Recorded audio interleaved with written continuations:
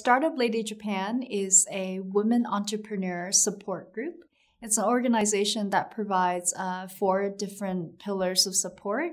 So, our first one is the education platform. We're right now in the process of building a online micro education platform uh, that is aimed to help female entrepreneurs with the ins and outs of business. You know how to start, or and once you start, what else can you do?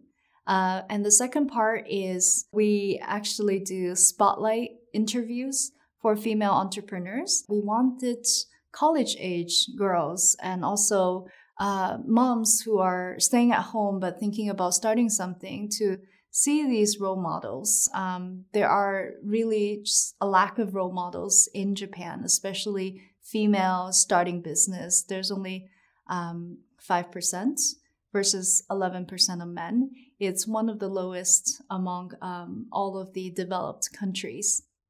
So we wanted to showcase that to um, inspire, you know, more people to embrace entrepreneurship, to be able to do something on their own.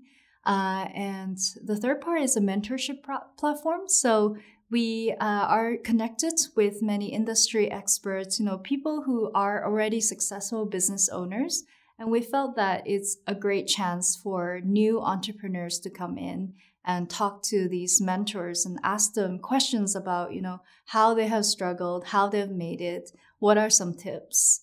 Um, and the last part is our global community. So once a month, we have a um, what's called Women Entrepreneur Nights, where we gather women who are international living here and also Japanese women who wanted to start their business and uh, we give them a safe space to communicate. We invite industry experts as speakers to come and teach them, um, you know, small tips about how to get run a business better. So that's kind of an overall of what startup ladies do.